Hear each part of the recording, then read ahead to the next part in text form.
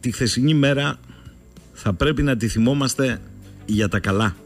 Και θα πρέπει να τη θυμόμαστε για τα καλά γιατί είναι η πρώτη φορά που τα στοιχεία και οι αριθμοί υποχρέωσαν τους καθησυχαστές να το ξανασκεφτούν κάπως. Όχι θα αλλάξουν ρότα, αλλά να μαζευτούν λίγο. Ας ελπίσουμε ότι δεν θα είμαστε αναγκασμένοι να θυμόμαστε κι άλλες τέτοιες μέρες. Μεγάλη μπουκιά φάε, μεγάλη κουβέντα, μιλές έτσι πως πάμε.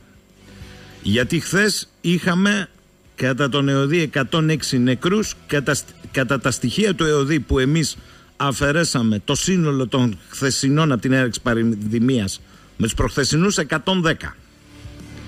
Δηλαδή παιδιά καταφέραμε και γεμίσαμε άλλο ένα αεροπλάνο. Το γεμίσαμε και του στείλαμε κανονικότατα. Και δυστυχώς φαίνεται ότι οι πτήσεις συνεχίζονται ομαλά χωρίς αναβολές και καθυστερήσεις. Καταλαβαίνετε επιτέλους γιατί μιλάμε και οι πιο επιφυλακτικοί; Αυτοί όλοι είναι οι ταξιδιώτες που συνάντησαν στο δρόμο τους, πώς το λέγαν, το καλοκαιρινό μπουρίνι που πέρασε. Ρωτάτε και ρωτάμε επιτέλους τι είναι όλοι αυτοί. Θα μας δώσει κάποιος μια απάντηση. Ή μήπως είμαστε υποχρεωμένοι να αρκεστούμε στις μπάρμπι της τηλεόρασης να μας μιλάνε τα βράδια για αρνητικό ρεκόρ και στους παραθυρά τους ακαταδίωκτους, ακατάσχετα να μας κοροϊδεύουν λέγοντάς μας ότι οι θάνατοι ακολουθούν τους διασωληνωμένους και τα διαχειριστικά επιτελεία να μας λένε ότι αυτά συμβαίνουν κι αλλού. Τι από όλα αυτά πρέπει να ακούσουμε ή μήπως όλα αυτά μαζί; Και επιτέλους το άλλο θα ακούσουμε κάτι άλλο ακόμη. 106 ή 110 ψυχές, συνάνθρωποι, άνθρωποι που μέχρι χθες ελπίζαν πως θα ζήσουν. 106 ή 110 που μέχρι πρώτη ήταν ανάμεσά μας. Μας μιλάγανε, γελάγαν, κλαίγανε, ζούσανε, όπως όλοι όσοι φεύγουν κάθε μέρα. Άνθρωποι που χάθηκαν τζάμπα.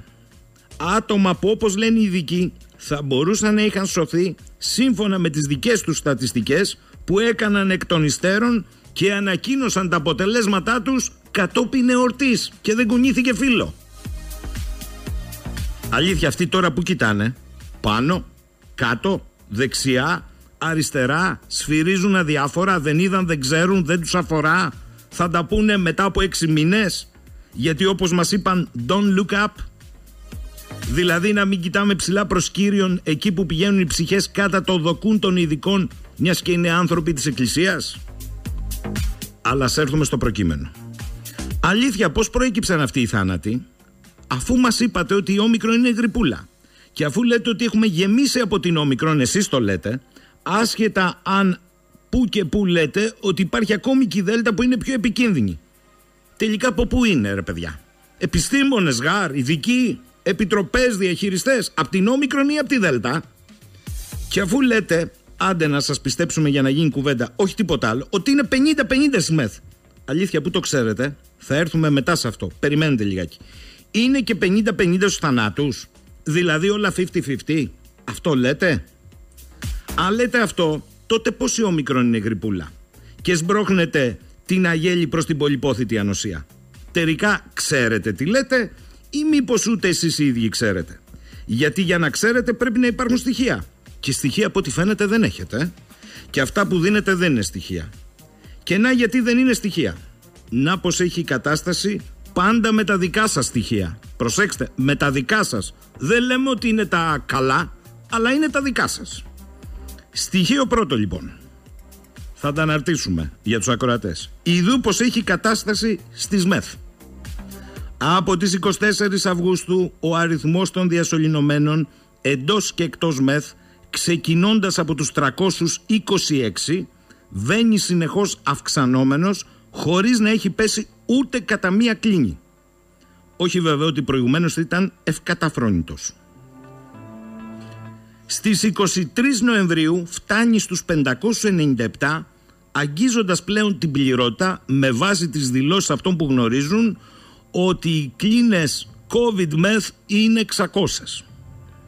Λέγοντας πληρότητα δηλαδή, εννοούμε από τότε που εσείς οι ίδιοι αρχίσατε να δηλώνετε ότι υπάρχουν διασωληνωμένοι που αναζητούν καινή κλίνη μεθ και δεν βρίσκουν.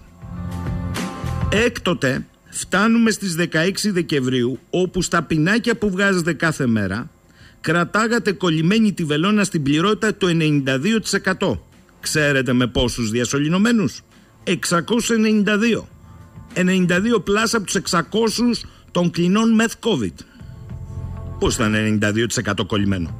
Βέβαια δεν σας πιστεύουμε γιατί τα στοιχεία σας έχουν διαψευστεί από την ΕΙΝΑΠ, από την ΠΟΕΔΗΝ αλλά κυρίως από την πραγματικότητα που δυστυχώς μόνο οι διασωληνωμένοι και οι συγγενείς τους την ξέρουν. Αλλά δυστυχώς ούτε οι μεν ούτε οι δε είναι σε θέση να μιλήσουν, οι μεν γιατί τους εμποδίζει ο τράχιος σωλήνας, οι δε επειδή δεν έχουν βήμα να διαμαρτυρηθούν.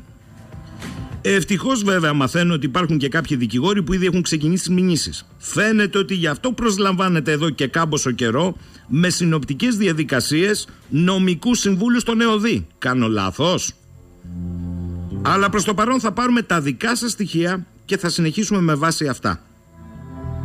Επομένως η πληρότητα είτε πραγματική είτε κατά δήλωσή σας είχε ήδη επέλθει. Αλήθεια Μήπως θυμόσαστε πότε δηλώσατε το πρώτο περιστατικό όμικρον. Αν όχι, θα σας αναρτήσουμε το σχετικό δημοσίευμα και μετά δείτε ένα πολύ συγκεκριμένο διάγραμμα, είναι 1η Δεκεμβρίου δηλαδή, του 21, εκείνη την ημέρα είχαμε ήδη 690, να το ξαναπώ, 690 διασωληνωμένους. Από όλη αυτή την περίοδο, για να το περιορίσουμε λιγάκι στο ζήτημα της γρυπούλας που λέτε της όμικρον δηλαδή, γιατί αν το απλώσουμε χαθήκατε, όχι μόνο είχαμε πληρότητα, αλλά ο αριθμός των διασωληνωμένων αύξανε συνεχώς. Πάμε τώρα στους θανάτους. Από τις 12 Νοεμβρίου είχαμε 55 και έκτοτε ούτε ένα λιγότερο. Πιο συγκεκριμένα όχι βέβαια ότι πριν είχαμε λιγότερους, αλλά παίρνουμε τις 12 Νοεμβρίου του 2021, αυτή την ημερομηνία, σαν ενδεικτική επειδή παρά τις οποιασδήποτε αυξομοιώσεις, ουδέποτε έπεσαν κάτω από τους 55.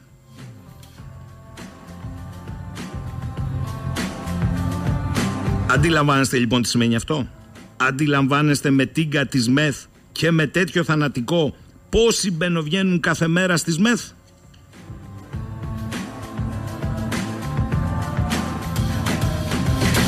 Από πού λοιπόν αυτή η νεκρή, από υπολείμματα της Δέλτα που θα λέγατε αδίστακτα με άνεση, από την Όμικρον, από τι λοιπόν, πάψτε να λέτε ό,τι σας κατέβει.